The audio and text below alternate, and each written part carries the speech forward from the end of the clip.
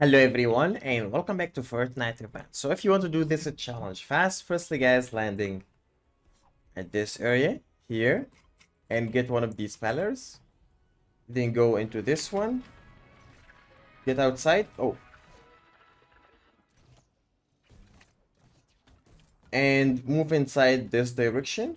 Then come to this area guys exactly so you can actually use the zip line. So this is how you can use Baller, Zipline, and geyser in the single game. Thanks a lot guys for watching. See you guys in the next one. Bye.